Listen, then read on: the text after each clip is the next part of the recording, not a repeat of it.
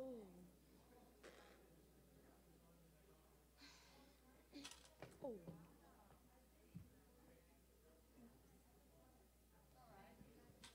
Test, test. Good morning, everybody. Who's glad to be in the house of the Lord? I'm happy to be here because the Lord is here, and I'm so glad that you are here. And I welcome all of you joining us on YouTube. We may not see you, but you can see us. May the Lord bless you uh, joining in this morning. And I just want to, this is what has been bubbling in my spirit, and it's from the word of the Lord. It's very short and sweet. But as we begin this morning, Philippians 4 4, and I was, the, the first word that I'm going to read from this verse really stood out to me. Uh, that's what I love about God's word. You can read it over and over, and different things just come alive. And uh, this verse says, Always be joyful, because you belong to the Lord. I'll say it again be joyful. That's what it says right here. I'll say it again be joyful. And so I want to I want to just encourage us this morning, no matter how you're feeling, what you're going through, whatever challenges, uh, rejoice in the Lord. Why? Because you belong to the Lord. You're His. And uh, though we do go through struggles, don't we? We go through valleys, even, even though we belong to the Lord, we're not home yet. And uh, so we're living in this world, but we're just pilgrims passing through.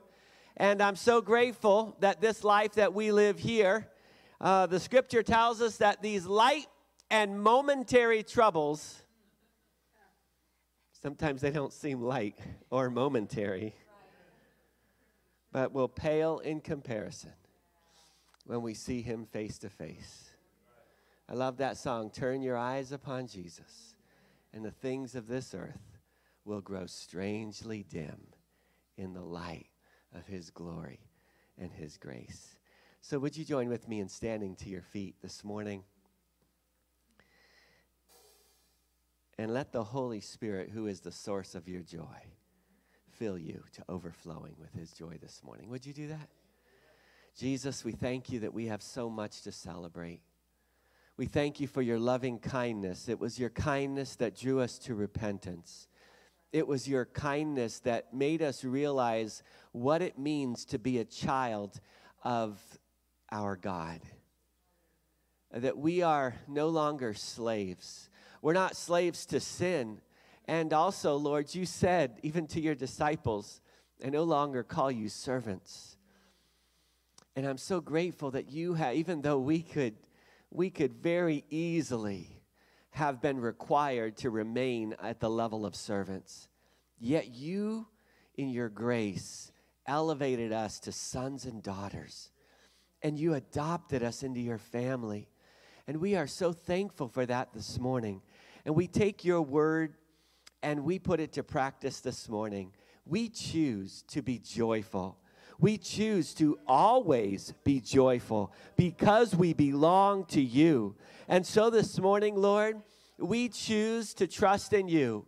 We don't need to deny that we're going through challenges, but we can, in those challenges, know that you are with us that you are our strength and it is your joy that is our strength. And so this morning, if there is anyone in the sound of my voice, online or on site, that may be feeling uh, overwhelmed, burdened by something on their heart, that they might not even feel like worshiping you, I pray that that will be broken in the name of Jesus and that they will experience the joy of their salvation. That no matter what has happened in the past to try to throw water on the the fire that you are trying to kindle in their spirit, that today that will dry up and that they will once again be able to fan into flame that passion for the Almighty God who came down and gave everything for each and every one of us. So today, Lord, we honor you in this service.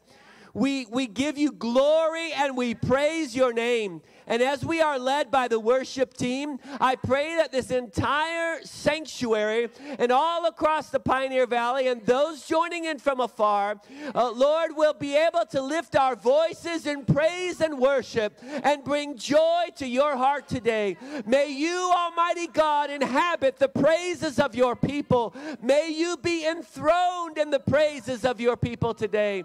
We love you and we thank you so much for all that you've done for us. And so we choose today to be joyful in you and to give you glory and honor and to praise you because you are worthy of it all. We love you, Lord, and we dedicate this entire service to you because we have gathered together to honor you.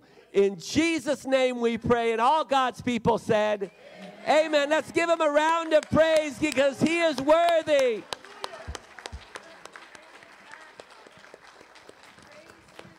Hallelujah. Good morning. Well, we have an opportunity right now to become joyful, right? And so, as Pastor was talking and praying, um, this first song, you have the opportunity to take the words of this song I'm trading my sorrows, I'm trading my shame for what?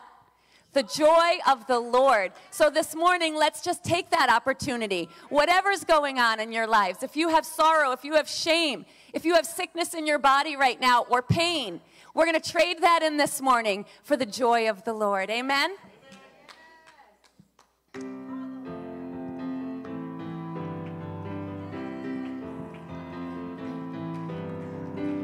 I'm trading my sorrows. I'm trading my shame. I'm laying them down for the joy of the Lord. I'm trading my sickness. I'm trading my pain. And I'm laying them down for the joy of the Lord. Let's sing that again and give it all to Him this morning. I'm trading my sorrows. I'm trading my shame. And I'm laying them down for the joy of the Lord. I'm trading my sickness. I'm trading my pain. And I'm laying them down for the joy of the Lord. And what will we say this morning? And we'll say, Yes, Lord, yes, Lord, yes, yes, Lord. Yes, Lord, yes, Lord, yes, yes, Lord. Yes, Lord, yes, Lord, yes, yes, Lord. Amen. Yes, Lord, yes, Lord, yes, yes, Lord. Yes, Lord, yes, Lord, yes, yes, Lord. Yes, Lord, yes, Lord, yes, yes, Lord. Amen. I'm trading my sorrows. I'm trading my shame. And I'm laying them down for the joy of the Lord. I'm trading my sickness. I'm trading my pain. I'm laying them down for the joy of the Lord. Yes, Lord, yes, Lord, yes, yes, Lord. Yes, Lord, yes, Lord, yes, yes, Lord. Yes, Lord, yes, Lord, yes, yes, Lord. Amen. I am pressed but not crushed, persecuted, not abandoned, struck down but not destroyed. I am blessed beyond the curse, for his promise will endure. That his joy is gonna be my strength. Though the sorrow may last for the night, his joy comes in the morning. I'm trading my sorrows. I'm trading my shame. I'm laying them down for the joy of the Lord. I'm trading my sickness. I'm trading my pain. I'm laying them down for the joy of the Lord. And we'll say, Yes, Lord, yes, Lord, yes, yes, Lord. Yes, Lord, yes, Lord, yes, yes, Lord. Yes, Lord, yes, Lord, yes, yes, Lord, amen. And we'll say, Yes, Lord, yes, Lord, yes, yes, Lord. Yes, Lord, yes, Lord, yes, yes, Lord. Yes, Lord, yes, Lord, yes, yes, Lord, amen. Yes, yes, Lord, amen.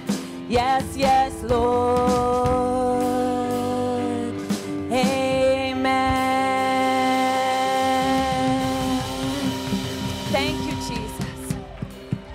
We thank you, Jesus, that we can trade it all in for the joy of the Lord this morning. We thank you for that promise and we claim it in Jesus' name. We just ask this morning, Almighty God, that we receive the joy of the Lord as we give it all to you this morning. We say, Yes, Lord, this morning. We say, Yes, Lord. Thank you. Thank you, Jesus.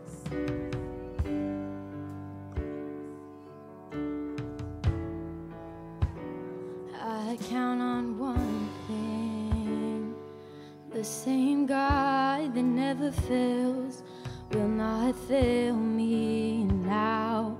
You won't fail me now in the waiting. The same God who's never late is working all things out. You're working all things out. And yes, I will lift you high in the lowest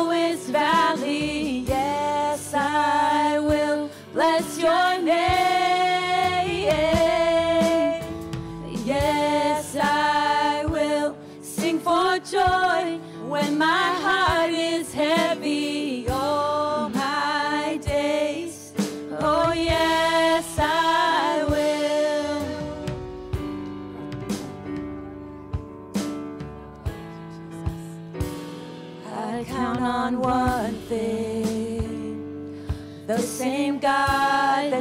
fails will not fail me now. You won't fail me now in the waiting. The same God who's never late is working all things out. You're working all things out. And yes,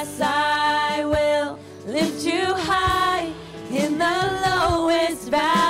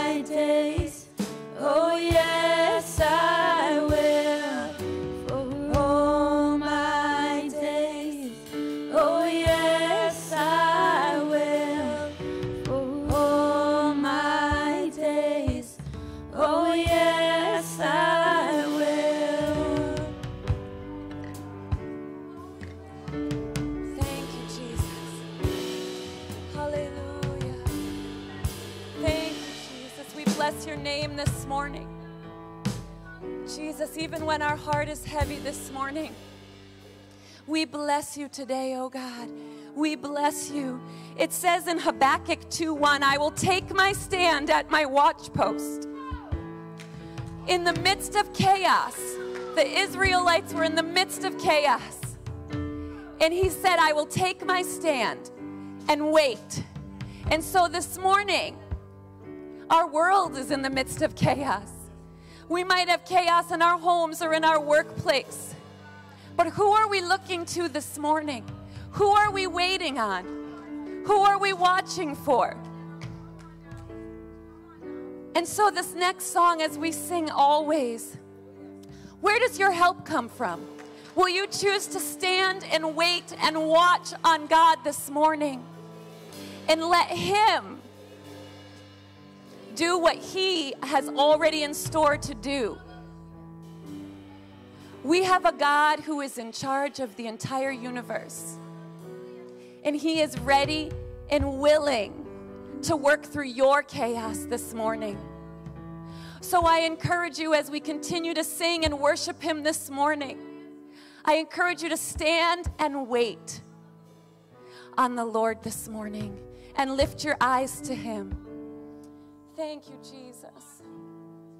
Hallelujah. We worship you this morning, Almighty God. Jesus, we stand in your presence this morning and we wait on you. Thank you, Lord.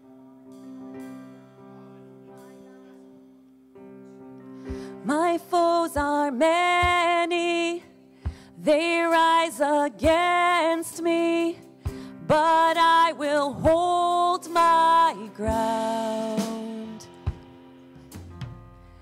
I will not fear the war, I will not fear the storm. My help is on the way, my help is on the way. Oh my God, He will not delay. My refuge and strength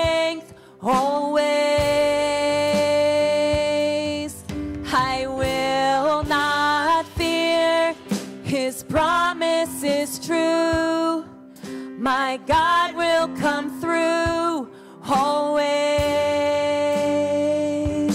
Always. What a wonderful promise.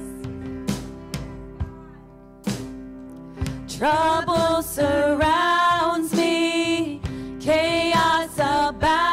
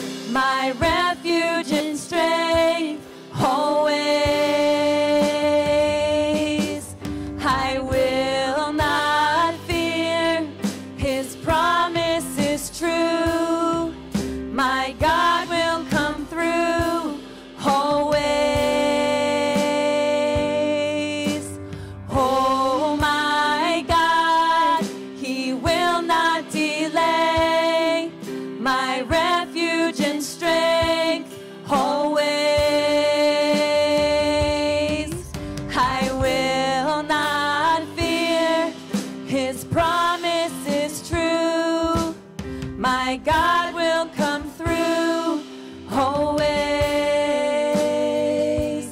always. Jesus. I lift my eyes up. My help comes from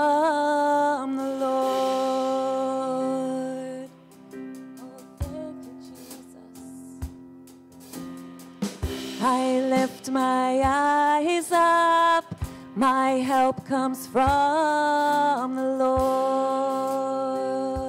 Lift your eyes to Him this morning, Jesus. I lift my eyes up, my help comes from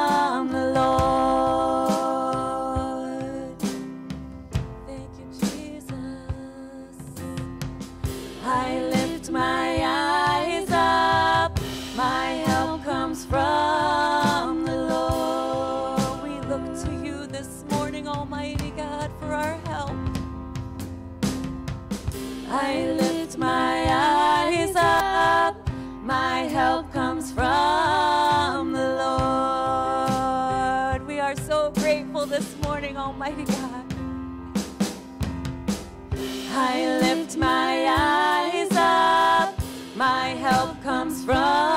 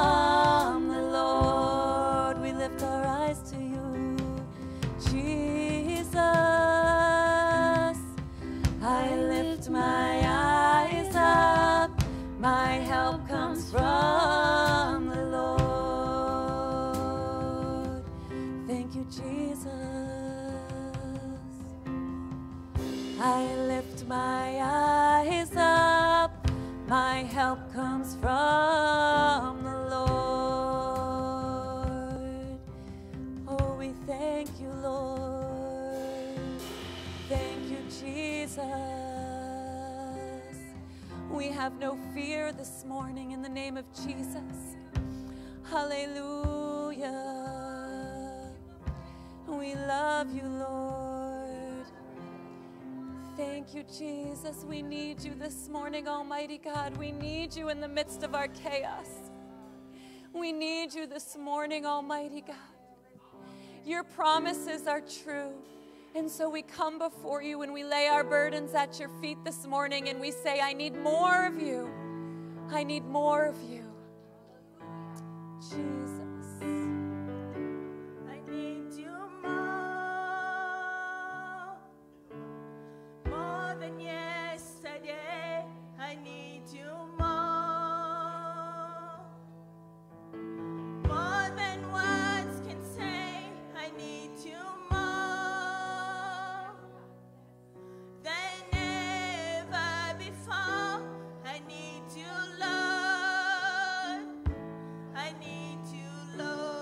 Tell him how much we need him.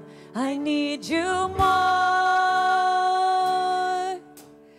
More than yesterday, I need you more.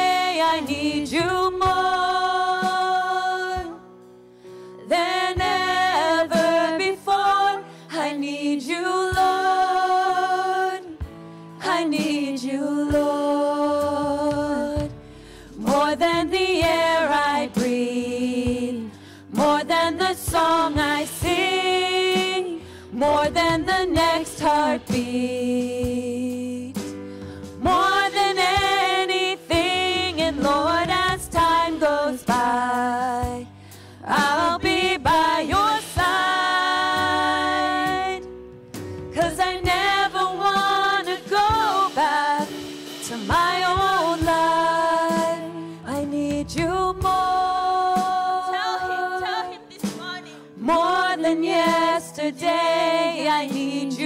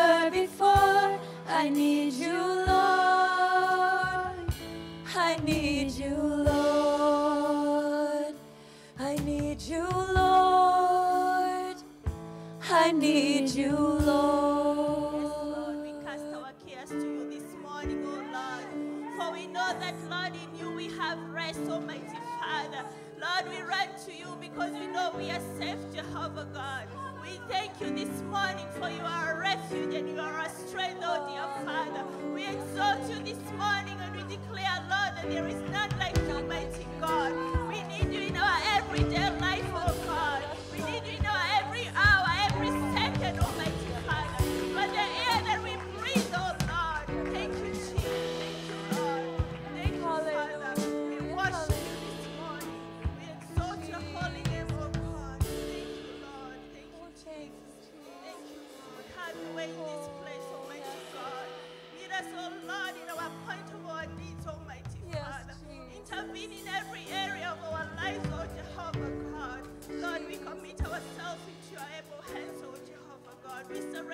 all unto you, oh Lord, because Lord, you are our refuge, oh Lord. You are the rock of our life, Almighty God. You are the cornerstone of our lives, Almighty God. Thank you, Jesus. Thank you, Lord. Thank you, Jesus. Hallelujah.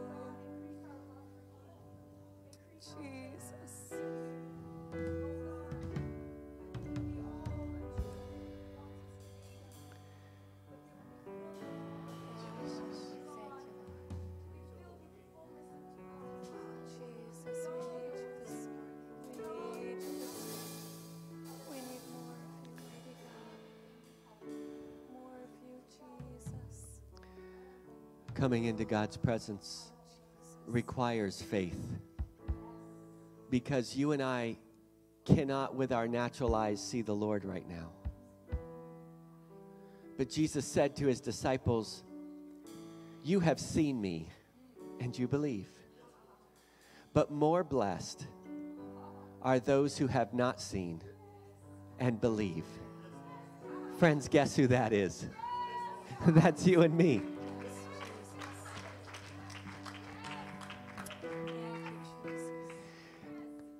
We as God's people come into his presence and we must believe that not only does God exist, but that he is a rewarder of those who diligently seek him.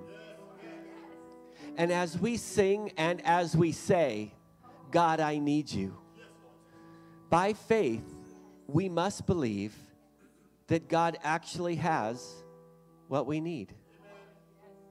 when God revealed himself to Abraham as Jehovah Jireh, he revealed himself as the God who provided what was needed at the moment. God provided right on time, and He provided exactly what was needed. And He's the same God for you today. It may not be a ram in a bush, but whatever it is you need, the Lord has it. It's why Jesus said, My Father already knows what you have need of. So don't worry about it. Here in the presence of the Lord and in the presence of his saints, we declare that God is everything that we need. We can lean heavily upon things we hold in our hand things we have in our bank account, things that are locked up in our house, things that we think we have. But, friend, all of that, as reliable as we think it may be, pales in comparison to the reliability and sustainability of our God. He is more reliable than the things that you currently own.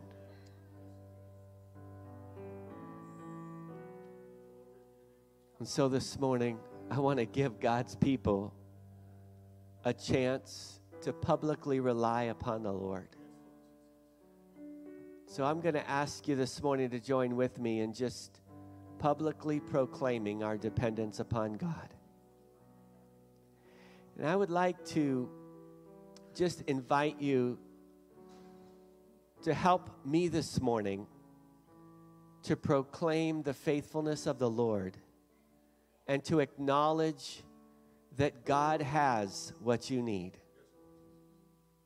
So I'm going to ask you if you would be so kind to simply help me out this morning by proclaiming what God has for you and by humbly acknowledging that you need it. And so I'll start, and then I welcome you to just follow suit, uh, just simply stating God, I need your supernatural strength today. And then follow it up with, and this is my personal one, but you, you can customize it however you want. But God, I need, and then you fill in the blank. God, I need your supernatural strength, and I believe that you provide it for me. All right? So that's just, if you would just go ahead and, and take it away from there. As the Holy Spirit directs you, customize it for yourself and, and let it be appropriate for the public. Uh, but I just encourage you this morning with your own mouth to proclaim your dependence upon the Almighty God and acknowledge that He has what you need. Go for it.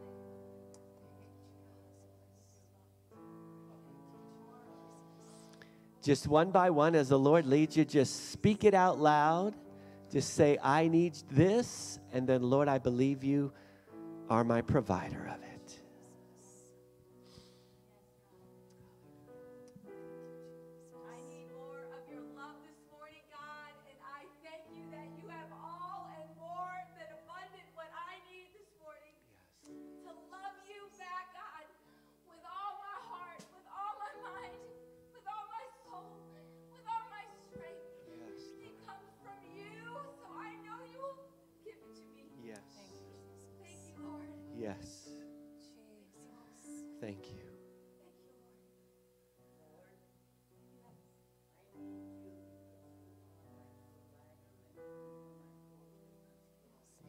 God.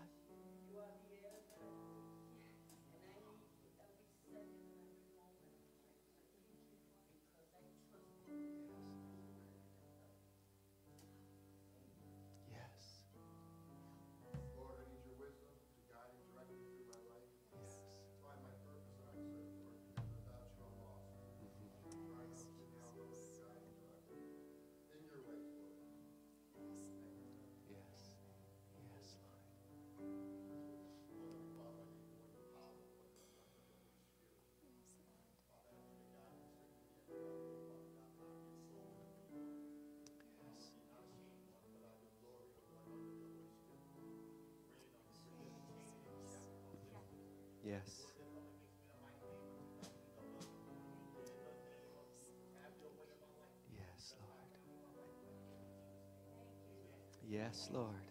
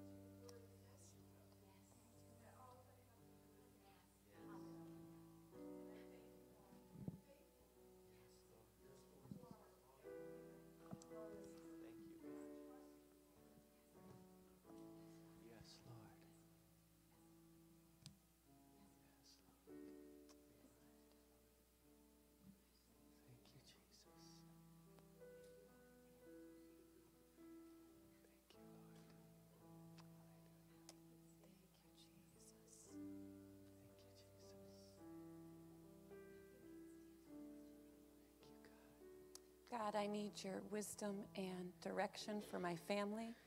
Lord, I believe that you have a plan and a purpose and you've ordered our steps, Almighty God.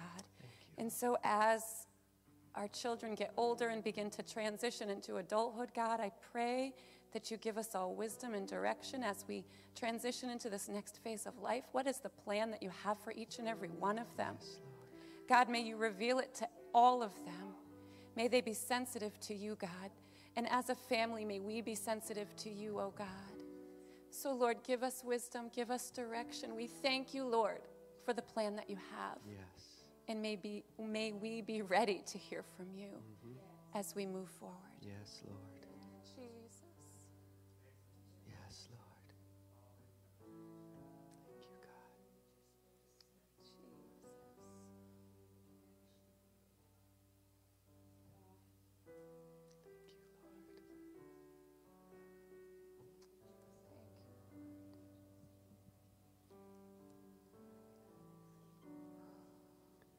Trust you for all these things.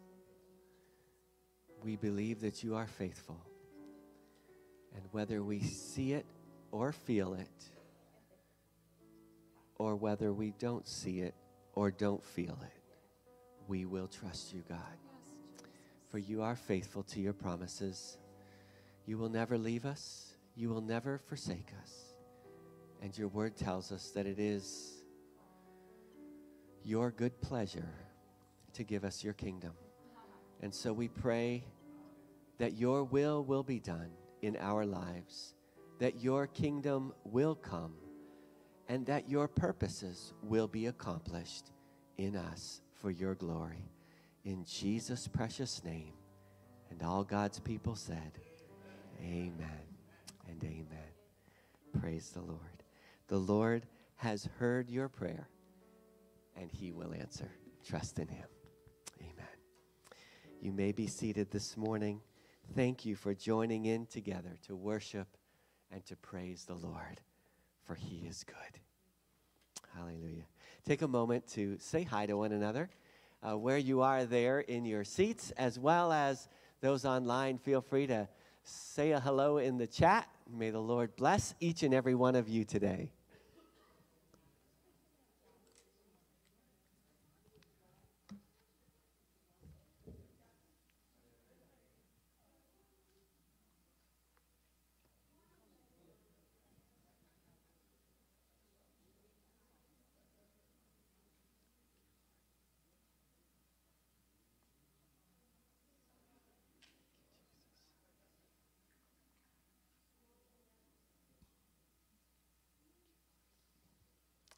Praise God. Amen. If you would be so kind online and here in the sanctuary to grab your mobile device and go to your Faith Life app. And if you are present here in the sanctuary, would you please click like on the attendance uh, post? And then if you are online, please click amen. Uh, if you have not connected with our Faith Life app, just uh, simply do send us a, uh, an email. I'll be glad to walk you through that. But it's quite simple. You can s- simply go to your app store and download Faith Life, uh, the Faith Life app. It's also titled at the end of that portion, Community for Churches. And just download that and look for Christian Life Center in Springfield, Massachusetts. Now, there's a lot of Christian Life Centers, so you'll want to be specific uh, when I say a lot of Christian Life Centers around the United States. Um, so you'll want to be specific for the Springfield, Massachusetts one to connect there, and uh, and then we will uh, get you squared away with that if you have any questions. Also, uh, for everyone, I did post a little tech support tip on your uh, Faith Life feed. You'll want to look at that. I won't go over that in detail here from the pulpit, but just review that to make sure that you're getting all of the posts because the normal method that you may have been using, uh, you might have been missing some posts and found that out from tech support here recently. So just wanted to share that with you so you can look at your device and get all those details to keep you up to speed. All right, so uh, just wanted to inform you that today we're going to be having a wonderful church picnic. Looking forward to spending time with you all in fellowship, fun, good food. We got plenty of food, and so uh, we're looking to having you join us. And uh, if you didn't get to sign up, that's okay. Uh, the sign up just helped us be able to kind of prepare food wise, but uh, we should be good. So we welcome you to come join us. We've got a lot of fun and games uh, that we're going to be having after uh, starting at 2 o'clock and, uh, and going onward. And so it's going to be right out here in the field. And so please do come on over and join us. We'd be so glad to have you. And uh, tonight, our prayer meeting is canceled, although prayer is never canceled, just a prayer meeting. Just want to make that clear because we are a people who pray without ceasing. And I want to encourage you to continue to do that. This Wednesday night, we continue our Bible study.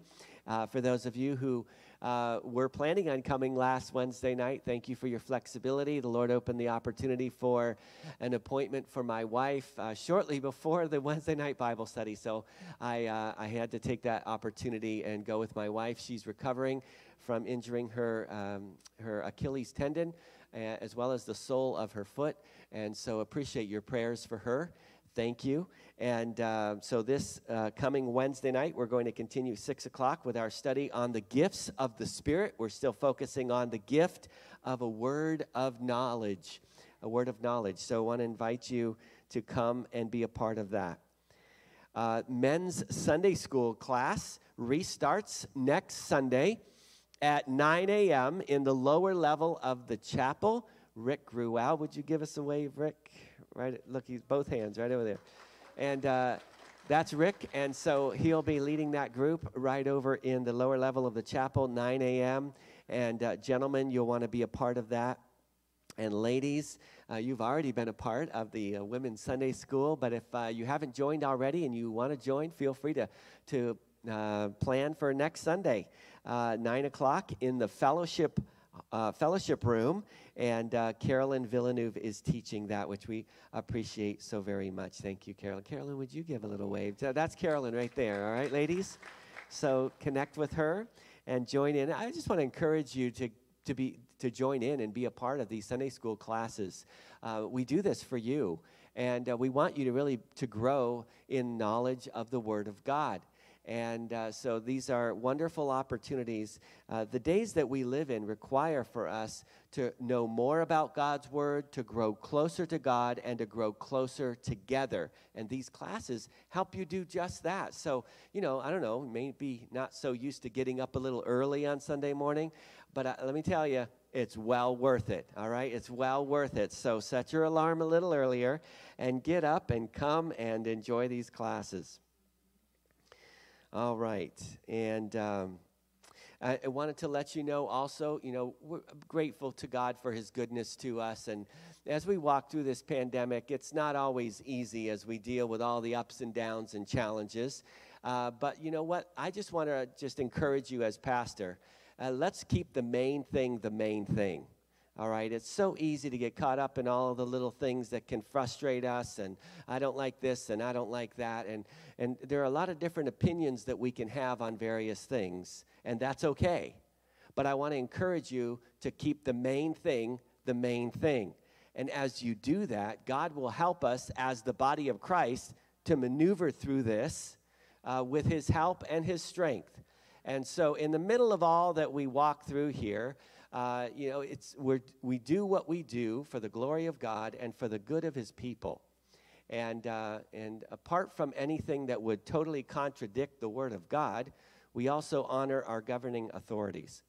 And so, as you may know, uh, and if you don't, uh, a request or an order actually has been put out by our mayor uh, in Springfield because there has been a significant rise in COVID cases, in particular the Delta variant which is significantly more contagious than the regular COVID. And so it has been uh, ordered that all indoor places uh, where public is welcome uh, have masks worn throughout the entire time. That will last until November the 1st, and then at that time, an assessment will be made regarding moving forward. So here's my challenge to you. Uh, we want to we want to move forward in prayer believing for a breakthrough regarding this pandemic. We know that God is able, and we continue to seek his face in the middle of all of this. Beginning next Sunday, as your pastor, I ask that not only as we have in the past been wearing our masks to our seats, but I ask if you would please wear your mask throughout the service. I know for some of you that may be uh, an uncomfortable thing. I'll be quite frank, I don't like wearing the mask throughout the service myself. The only reason I don't is because I'm speaking. Um, and uh, so I feel for you, and I do understand that. Uh, if you do have a, a, a, uh, a medical issue, uh, we respect that. Uh, but if you don't, then I do ask if you would please uh, wear your mask throughout the service. You know, for whatever reason, if you feel that you can't and you have to be online, I respect and understand that too. So I just, I just want to share with you that with God's help, we're going to keep moving forward, pressing on, keeping the main thing the main thing, and walking through this whole situation for the glory of God. And so uh, may the Lord bless you. Just wanted to just wanted to communicate that to everybody so that you're aware of that. That begins next Sunday. For now, enjoy the masks off. All right, while you're sitting sitting there, enjoy enjoy that. Okay. At this time.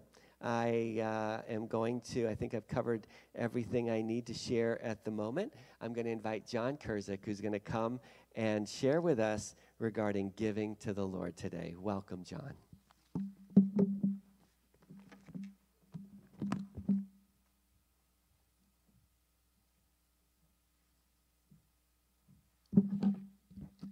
Well, I'll tell you, it's good to see a lot of people in church again. Every week it seems to be getting more and more. People that love the Word of God, love God, love the Holy Spirit. It's wonderful to be with you.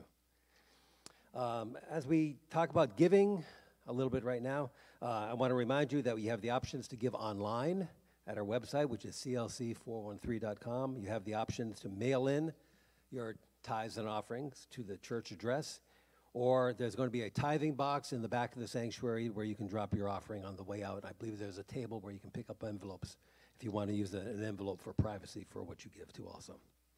Today I'm going to talk about two scriptures uh, talking about one person that wants to get everything and to keep on and hang on to everything.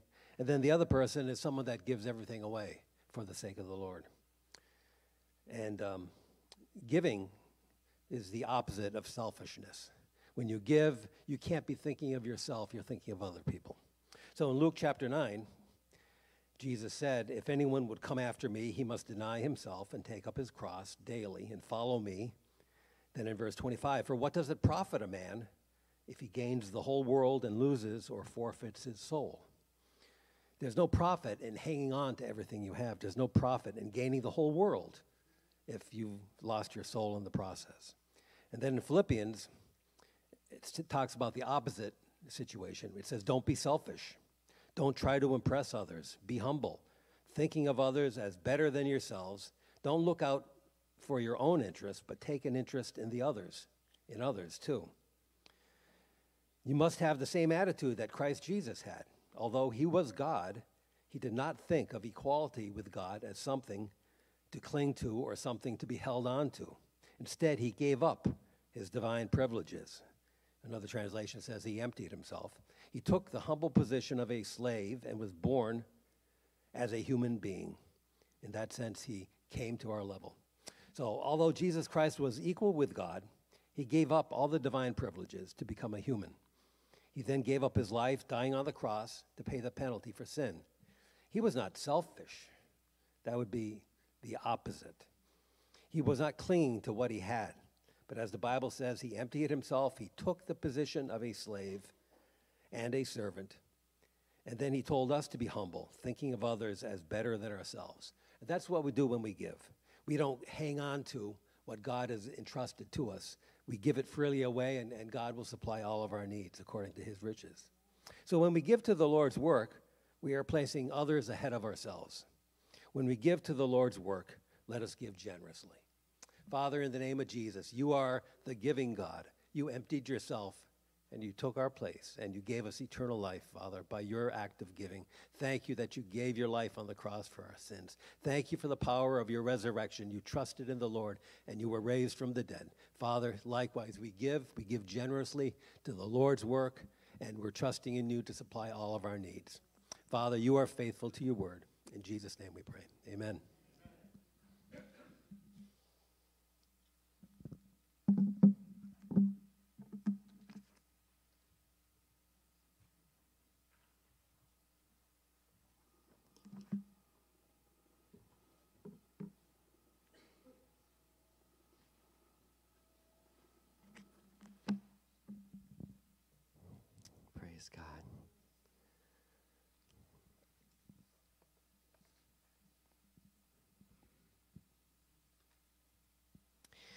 Father, I ask you now for wisdom to communicate your word with clarity and power. I pray that your Holy Spirit will breathe life into every single person through the word of God.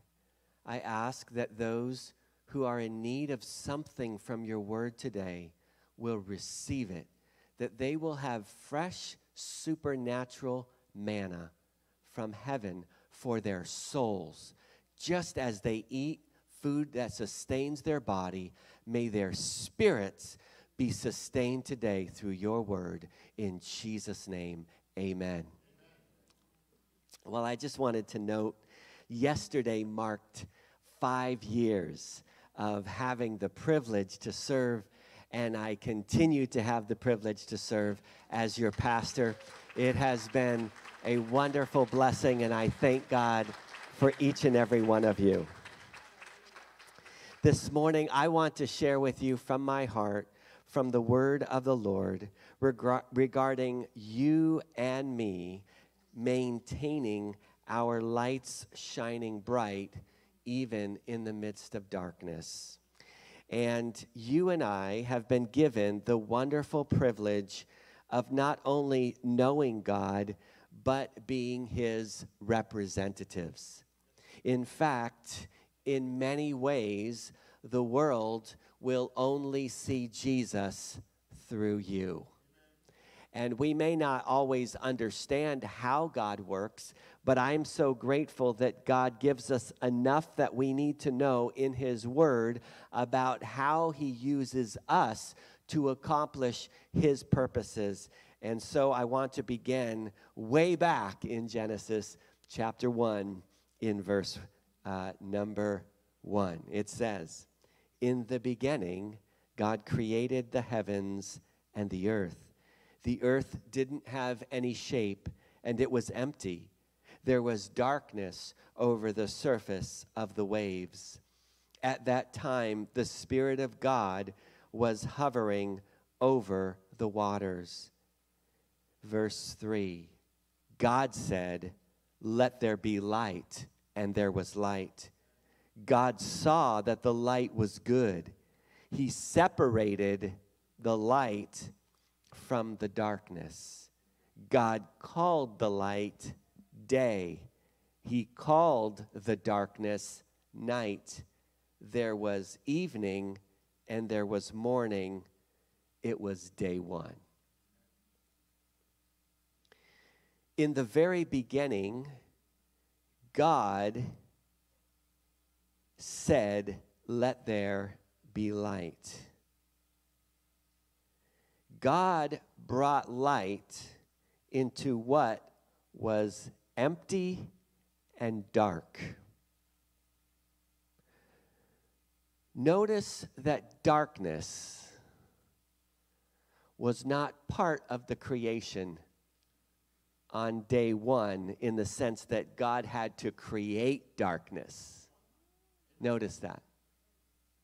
Darkness was already there. But in day one, God said, Let there be light. He said that, and then he saw that it was good.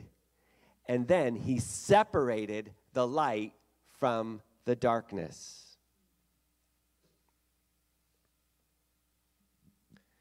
Now, would you move on down to verse 14? We're going to skip ahead to day number four. In verse 14, God said, Let there be lights. Now we're going plural. All right? And we're not just talking about light in general. God said, Let there be lights in the huge space of the sky. Let them separate the day from the night.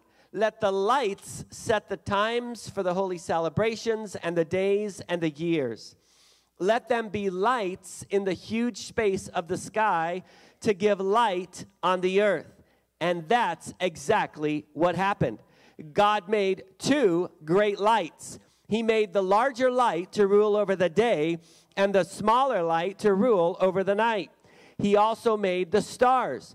God put the lights, verse 17, in the huge space of the sky to give light on the earth. He put them there to rule over the day and the night. He put them there to separate light from darkness. God saw that it was good. There was evening and there was morning, and it was day four. Now, on this fourth day, we see that God made the sun and the moon and the stars. However, in, on day one, it says that God created, uh, or God spoke, and He said, Let there be light, and there was light. So think about this for a moment. There are people all around the world that gather together in specific places, and they are so amazed by the value of the sun in the sky that they worship the sun that hangs in the sky. Because they believe that it being the source of light for this planet, that it is also the source of life. And so they worship the sun. They're called sun worshipers. And they are faithful to gather to worship what they believe is bringing the source of life into this world. However, that source never showed up until day four. God had already determined that there would be light before the sun was ever created.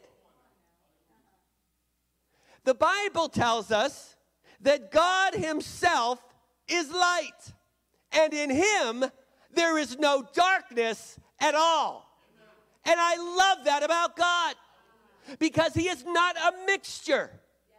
He is not in any way symbolized by the yin yang symbol, which shows that in all darkness there's a little bit of light, and in all light there's a little bit of darkness. That is not true with God. God is 100% light, and in Him there is no darkness at all. And I have good news for you. You are a child of the living God.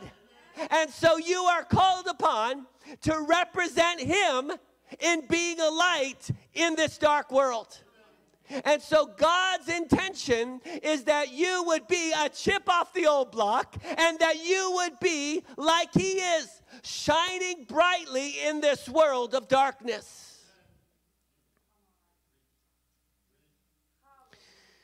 You, like the sun, are not the true source of life.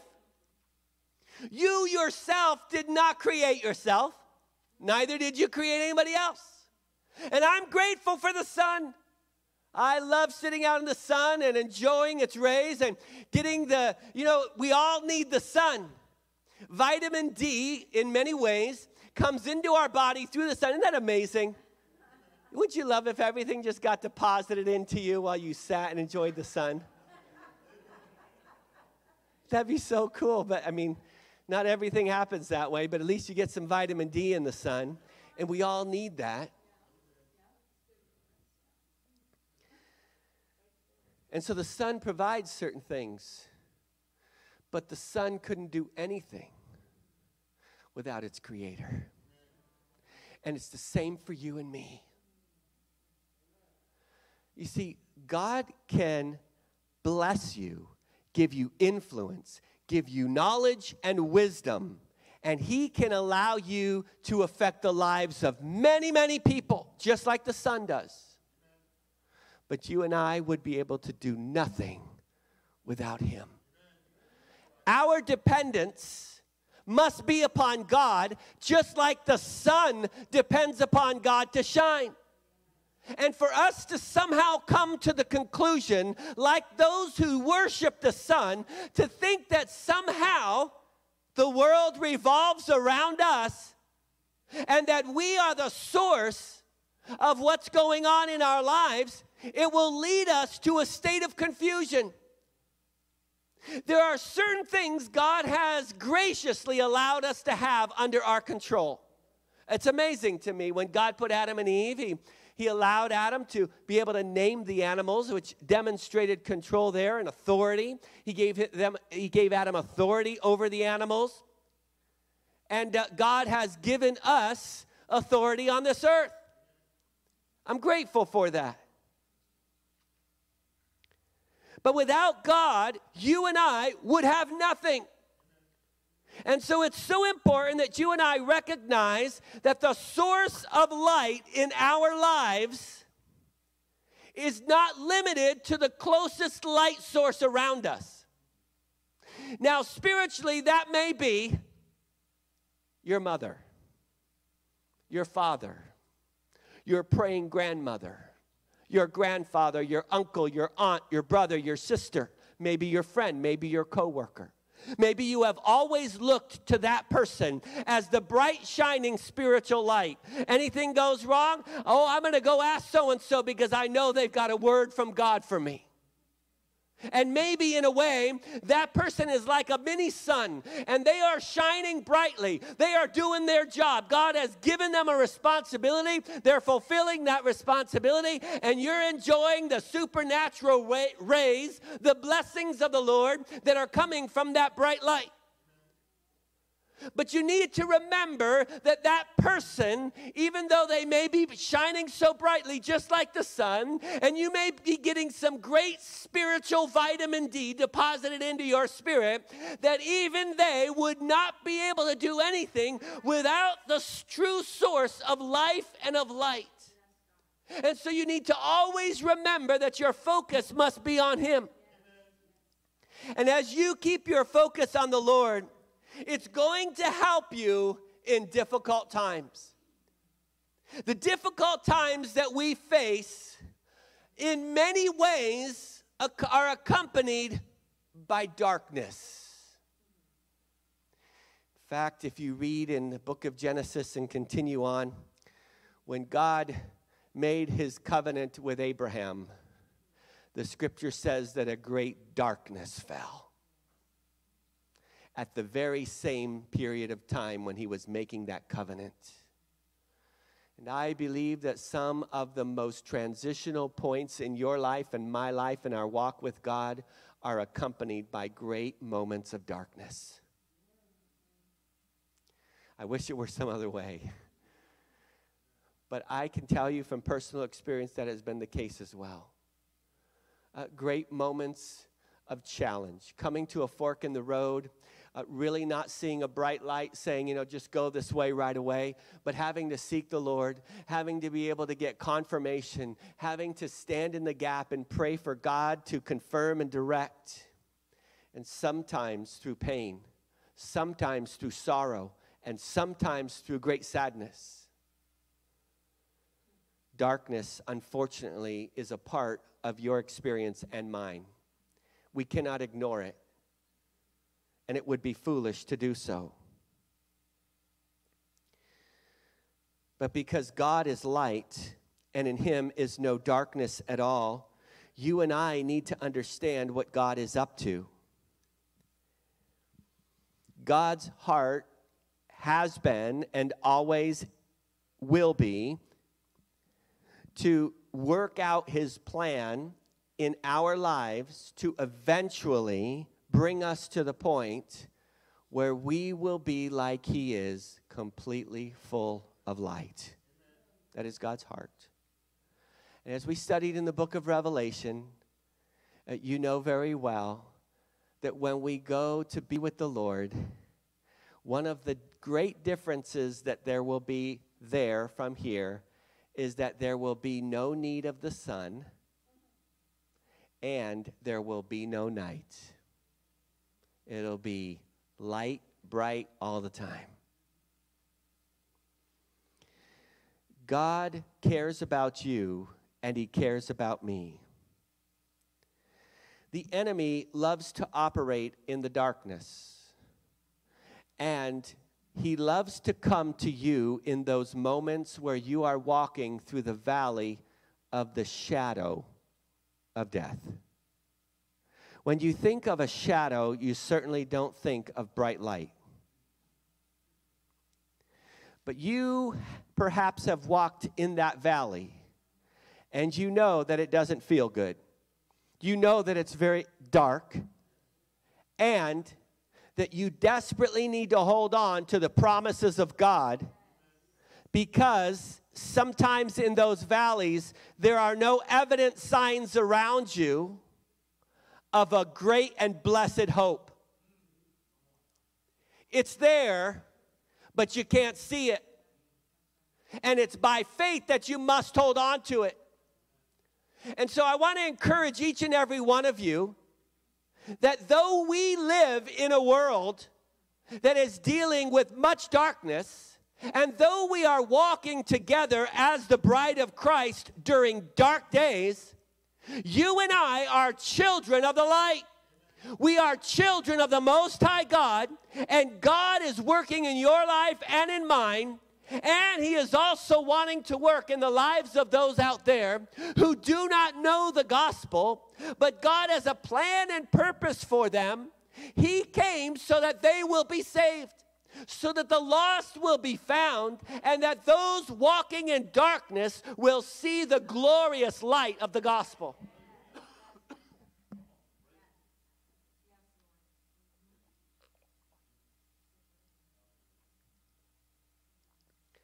A verse many of you are familiar with. In Psalm 119, verse 105, David said, Your word is a lamp to guide my feet and a light for my path. I've promised it once, and I'll promise it again. I will obey your righteous regulations. I'm so grateful for praying moms, praying dads, grandmas, grandpas, aunts, uncles, friends, co workers, those who have been pillars that we can lean on when we need it. Aren't they a blessing? It's a huge blessing. I've had them and I have them, and I'm grateful for them. But one thing the Lord has taught me over the years is that I need to depend upon the Lord so that in the absence of that pillar, I will still remain standing. Because what happens when your praying mother goes home to be with the Lord? What happens with the per- when the person that you have been leaning upon is called by God to some other location? What happens when that person that you have been so dependent upon is no longer in your immediate vicinity? You can still stand because that person is not the source. They are simply radiating from the true source. And the wonderful thing is is God wants to use you to be able to impact someone else just like the person who has been a pillar for you has helped you through. God wants to strengthen and mature you so that you will be a pillar too. And you will stand when someone else feels like falling down. When they aren't sure what to do, you'll give them a word of encouragement. God wants to grow you so that you will be strong in the Word of God. The, the ability for you to shine brightly is in so many ways dependent upon your knowledge and obedience of the Word of God. That's why David said, Your Word is a lamp unto my feet.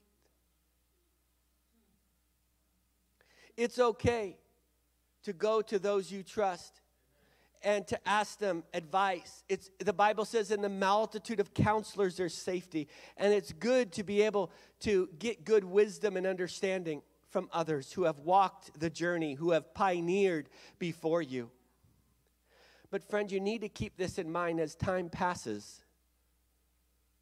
And I have had the privilege of walking through certain changes of seasons in life with some precious saints who have reached the age where some of them, all of those who were their heroes of the faith on this earth, are all gone.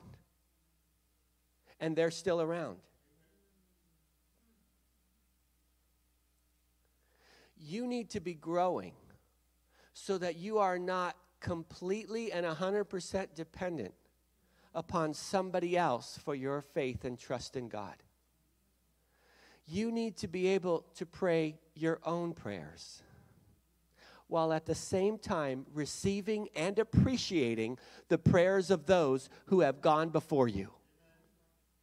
I am in no way downplaying it because it's so important. But what I am trying to say is when you are walking through your own valley and someone who you've been leaning on is not in that valley with you, may you not crumble and fall. But may you stand knowing that the God who cares about that person who has been a great strength to you also cares about you. And his promise to them that he would not leave them or forsake them is the same promise to you that he will remain steadfast to you.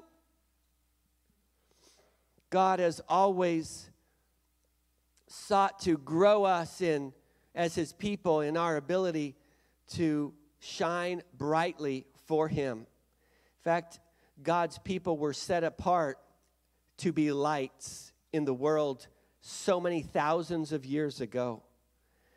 You may recall when the plagues were happening in Egypt. Uh, in Exodus chapter 10, verse 21, it says these words that the Lord spoke to Moses, and he said, Reach out your hand toward the sky so that darkness spreads over Egypt. It will be so dark that people can feel it. So Moses reached out his hand toward the sky, and then completely uh, or complete darkness covered Egypt for three days. No one could see anyone else or go anywhere for three days. But all the people of Israel had light where they lived. God is still in the business of dividing the dark from the light.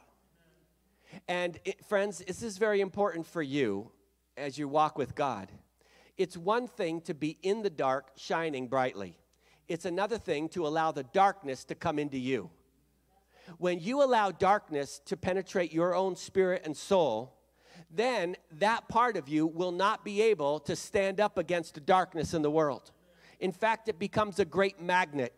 And that part of darkness, if it's not properly dealt with, repented of, and rejected, will end up causing you more trouble because it will grow. It will be like a black hole that tries to suck in everything around it. And that's why it's so important that you recognize that we, as the children of light, should have nothing to do with darkness. And I'm not talking about staying away from the ungodly people, not talking to them, staying in our own little bubble. I'm not talking about that at all. I'm talking about standing firm for God and not compromising while you are in the middle of a situation where all those around you may be compromising, just like Daniel. Daniel stood for God and he did not compromise, even though he was in an administration and a country that did not honor God.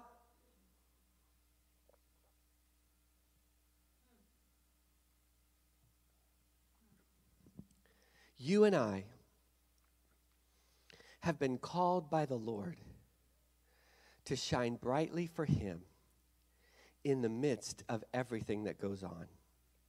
When God was caring for His people and He was directing them out of Egypt, it says in Exodus 13 21 that by the day the Lord went ahead of them in a pillar of cloud. It guided them on their way, and at night He led them with a pillar of fire. It gave them light so they could travel by day or at night. The pillar of cloud didn't leave its place in front of the people during the day, and the pillar of fire didn't leave its place at night. The Lord desires to guide and direct us in the midst of the dark places.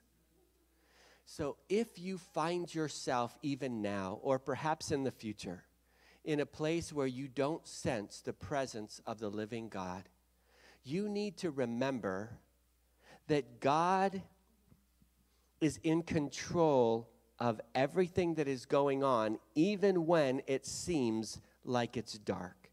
Listen to these words in Isaiah chapter 9, verse 2. Suppose I were to say, I'm sure the darkness will hide me, the light around me will become as dark as night. Even that darkness would not be dark to you, the night would shine like the day. Did you hear that? That's amazing. I have, I have, this verse has blessed me so many, so many spiritual night times. The night would shine like the day because darkness is like light to you. What does that mean? That means that God sees with night vision. And nothing is hidden from his eyes.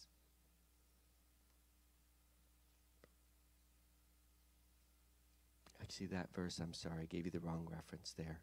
Psalm 139, verses 11 to 2. Let me correct that. Psalm 139, verses 11 to 2. Psalm 104, verse 2 says, The Lord wraps himself in light as if it were a robe. That's a pretty cool imagery. 2 Samuel verse 22 chapter 22 verse 29 David said, "Lord, you are my lamp. You bring light into my darkness." When you are going through a period of darkness, I want to encourage you to not only look to a person who reflects the source of light, but to look to the source of light himself. Because while the person who can reflect the source of light may have a good word for you, they may not always be present to do so. It is so critical that you become more dependent upon the source than becoming dependent upon the reflection of that source. God has called all of us to shine bright like stars in this world. However, in the shining of that brightness, all we're doing is reflecting the true light. For you and I to be able to shine brightly, we must remain in the Word of God. It is so important that you spend time in God's Word. And coming to church on Sunday morning, friends, is good, but it's not enough. It's really not enough.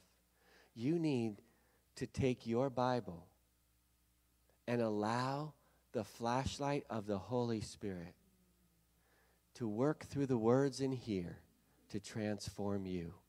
Because through that, when you're at work, then people will see the light shining. Friends, it, it can vary as to the intensity of our brightness.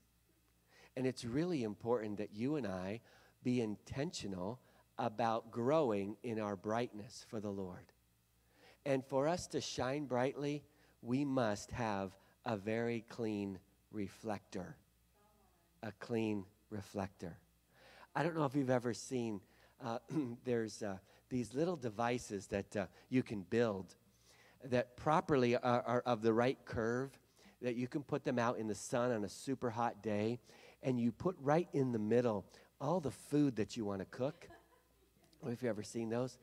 And you can literally cook your food in the sun. It's the same principle as the magnifying glass, you know, that you can start little fires here and there. but it's concaving the, the energy of the sun to be able to make it super hot in the center. And so you can cook some really good food right in that center of that area. Excuse me. because the sun is shining on it. And because of the heat that is concentrated there. It is so important that you and I remember that the power of God can do anything in our lives. We just have to have ourselves in a proper position to receive from Him. If that little cooking thing did not have a very clear reflection of the sun, it wouldn't cook anything. If you were to take just a piece of wood and try to do the same thing, you're not going to cook anything. But when you've got a proper reflector, that sun is going to be intense, focused in that area. It's the same with you and me. You need to get out the spiritual Windex and you got to clean the reflector of your heart. You may know, but if you have walked in sin before, and if you have ever delayed in repenting, you know what it's like. You know what it's like when you are feeling the guilt and the shame and the conviction of the Holy Spirit. Now, the shame God wants to get rid of. Uh, the guilt God wants to deal with, but He uses that guilt to draw us to Him. Otherwise, we'd have no sense of right or wrong. So the guilt is actually important when we feel guilty. It's just that we have to handle it properly. And so we bring that then to the foot of the cross. And the Bible tells us if we confess our sin, He is faithful and just to forgive us and cleanse us from all unrighteousness. When you're walking around as a follower of Jesus and the reflection of your life is filled with dirt, it limits the ability of the sun to shine through you to impact the lives of others. And just being honest with you, your effectiveness as a witness for God is not limited to just your words that you choose to say. You could stand before someone and give them an amazing gospel presentation. You can. And have a dirty heart. You can do that. And the power of the word will be there. However, that power will be magnified exponentially if you get that reflector clean. Because then here's what happens the very same word that you're speaking gets more oomph to it. Because now the Holy Spirit has been given free rein in the vessel that is being used to communicate the word. So God's not limited. I've heard of people who have turned away from God sitting in a bar room, having known the word of God, sharing that word with someone else in the bar room as well, and that person getting saved. And here, this person is a prodigal who walked away from God. God will honor the power of his word. But, friend, why compromise? The potential power that God has given you to live a life that honors Him so that your reflector will be able to be the most impactful for His kingdom. In God, there is no darkness at all. What about us? Now, it is true that God is doing a work in us. And we're not perfect people. We make mistakes. But I want to tell you something. The types of things you do wrong should be changing over time. If you're doing the same thing that you're doing five years ago that the Holy Spirit's been convicting you on, then something's not right. Okay? Then there's limited growth. Now, God is gracious, and I, I'm not God, so I don't know the amount of time He gives, but I do know this that God said in the letters to the church in Revelations, He said, I gave you time to repent. And then He said, But you didn't. And so I'm going to. And then He lays out, I mean, serious stuff. You can read it for yourself, serious stuff. So I'm just saying to you, God's gracious. And if we're willing to keep entertaining some sin, God might not strike you with lightning. He'll give you that time to repent. But please don't test the patience of God. Please. Because there will come a day, there will, inevitably, where you will give an account for everything that you have not surrendered to the Lord. Now, I'm so thankful for the grace of God. And I'm glad He's patient. Aren't you glad He's patient? And I never want to take away from that. He is. But I want to challenge you also, friends. Like David said, Search my heart, O God, and see if there is any wickedness in me. Is there anything on my reflector that would block your light shining from me to the world around me? And if so, God, remove it. Cleanse me with hyssop so that I will reflect you. And, uh, well, you know that David had some cleaning up, don't you? He did a couple things wrong, don't you think? And yet, oh, the grace of God. God forgave him. Do you know what David deserved for what he did? Even according to his own his own admission when he was approached by the prophet Nathan. You remember that? Nathan gave him a, a scenario of what should happen to someone who just stole a lamb from the neighbor. Just stole a lamb from the neighbor. And Nathan said, What should, ha- uh, what, what should happen? And oh, that man should die. He laid it out. And you know, the scripture does say that God is merciful to those who show mercy, doesn't he?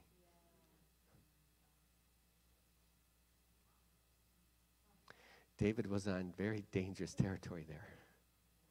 And it would have not been beyond the justice of God to take David out. Because David did something far worse than steal a sheep from the neighbor. It involved a human life. And yet, what did God do? God forgave him. Now, it wasn't without consequence.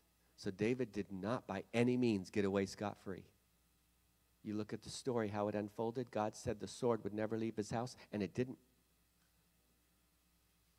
His own son rose up against him, did terrible things involving his own wives, his family. There was absolute chaos in David's family because he didn't listen to the Lord. But God spared his life. God was gracious. My challenge to you, friends, is don't walk so close to the fence where you think, well, maybe if I just have this little bit of darkness, I can still get in to the light. Why go there? Let me tell you, eventually the darkness will have to be dealt with in your life, one way or another. Why not deal with it now and walk in light for the rest of your life? Now, I'm not saying that you'll never sin, you'll never do anything wrong. What I am saying is, is that you're open to the Holy Spirit, and the moment you do something wrong, you'll hear that voice going, That was wrong. And then you say, Okay, I'm sorry. I shouldn't have said that. Forgive me. And then you're forgiven. And you move on. You move on. Guilt free, shame free, forgiven by the blood of Jesus. But you're not trampling on the grace of God, premeditating to do something and saying, Oh, God's good. He's merciful. He can handle me. He'll be gracious. But don't test the goodness of God in that way. There have been some who have, and they paid dearly for it. My challenge to all of us, friends, is let's remain in the light and let's shine brightly for the Lord. And let's make sure that we keep our vessels clean for the glory of God. Would you take a moment now and close yourself in with God? And I want to ask every person present and those online, I, I want to ask you this question because it's so pertinent. Is it possible that you at this very moment, if Jesus were to come back for his church, is it possible that you would not be ready? Is it possible that your heart is not right with the Lord? I'm not asking you that question to make you feel bad. I'm asking you that question to get it right. God desires for all of us to be saved. And if today either you have never come to know the salvation of Jesus, or perhaps you once did, but you have been walking away from God, God calls back to you and He says, Come home. I'm willing to forgive you if you're willing to repent. A very simple request this morning. If you need to make that step of surrender to Jesus, right where you are, would you just simply raise your hand? I'd love to pray with you this morning. You say, Pastor, I want to I want to be ready for heaven. And I want to make sure that my heart is right with God. If that's you, just right where you're sitting in this sanctuary, just raise your hand. I'd love to pray with you. And the Spirit of God will do the work. God sees your hand, my sister, and yours, my brother, and yours.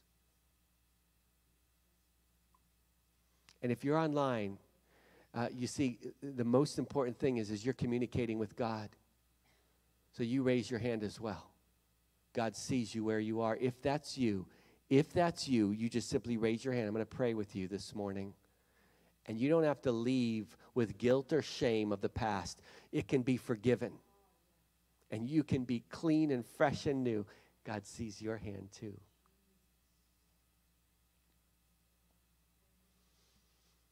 Now, with sincerity of heart, I invite you to join with me in this prayer. And this is simply from our mouth to declare. Bible tells us that with our heart we believe, but with our mouth we confess. So with our mouth we will now confess Jesus Christ as Lord of our lives. So would you join with me in this prayer? Dear Lord Jesus, I acknowledge today that I need your forgiveness. Please wash my heart and make me brand new. I repent of my sin and I choose to obey your word. Please fill me with your Holy Spirit. I choose from this day forward to live my life in obedience to your word. Thank you for forgiving me. Thank you for writing my name in the book of life. In Jesus' name, amen. Amen. Let's give the Lord praise for the work of the Holy Spirit.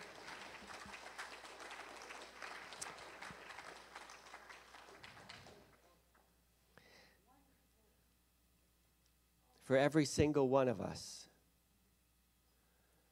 as we begin our service this morning, God's word says to us, always be joyful because you belong to the Lord.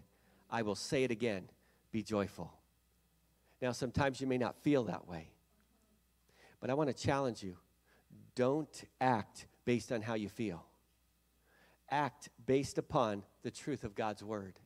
That's why the word there that it starts with is always. Always be joyful because you belong to the Lord. Because you belong to the Lord. This week, I want to encourage you. If you're having a difficult day, be joyful. Why?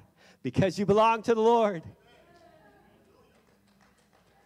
It doesn't say because you're in good health or because the sun is shining, because all is well and you're not having a disagreement with anybody. No, it doesn't say that. It says always be joyful. The joy of the Lord is your strength. Would you join with me in standing to your feet?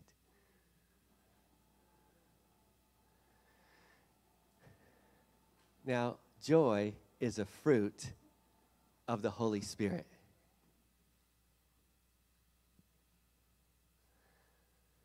Fruit is not created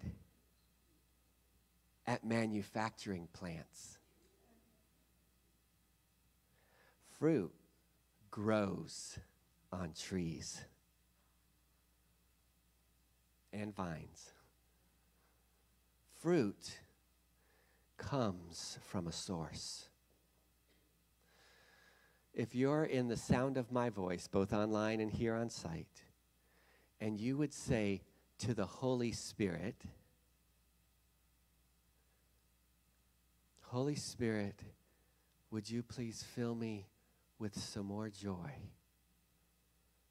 And as we close out this gathering together today, I want to invite you to simply raise your hands to the Lord. And I want to join with you in prayer because I'm going to be honest with you. I also, I want more joy. As I walk through difficult situations, as I deal with my own valleys, I want joy as you go through your difficult times, as you have challenges, may you have joy. So, if, if that is your desire, I just welcome you to join with me in raising your hands toward heaven. And I want to pray with you. And I'm going to ask you to join with me in that prayer, not only listening to me pray, but in your own words, would you just would you just agree together and would you just say, Lord, yes, I want more of your joy? From your own lips, would you just begin to ask the Lord to fill you with his joy. Father, in the name of Jesus, I come before you, the giver of all good things, that you give without measure. You pour in and pour in and pour in until we have joy unspeakable and full of your glory. And I pray that for all of my brothers and sisters who are joining in in this gathering together today. I pray for the joy of the Holy Spirit to fill them to overflowing so that no matter what they may be going through, regardless of the darkness around them, that they will always be joyful because they belong to the Lord and because you are the God who is light, and in you there is no darkness at all. I pray, oh God, that none of us would entertain anything dark that would like to rob us of our joy. I pray, oh God, if there's anyone today where the joy of their salvation has been robbed, may it be returned to them today as they forsake their sin and follow after you. Oh God, I pray for the touch of the Holy Spirit to fall upon each and every one who is raising their hands, and myself included, would you fill us with joy to overflowing so that we can move forward, not only being joyful, Lord, but we can reflect you to a lost and dying world that is in desperate need of the gospel and of the light of Jesus Christ. Oh Lord, I bless your people today.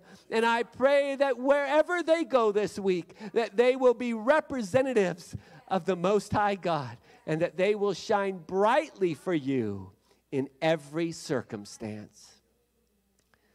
Thank you for hearing our prayer. Thank you for what you're going to do. We choose to do our part and rejoice in you, O oh Lord. In Jesus' name we pray. and to put that into action, would you join with me all across the sanctuary and those of you online? And let's give the Lord the loudest round of praise that we can with our hands. Let us clap our hands to the Lord and rejoice, for the Lord is our strength today. Hallelujah.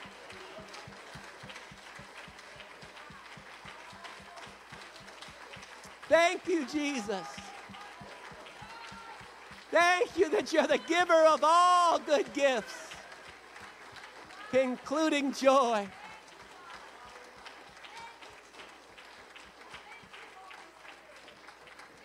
Hallelujah.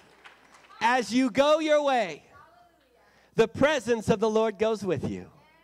And may the joy of the Lord be your strength. God bless you all. Have a wonderful afternoon.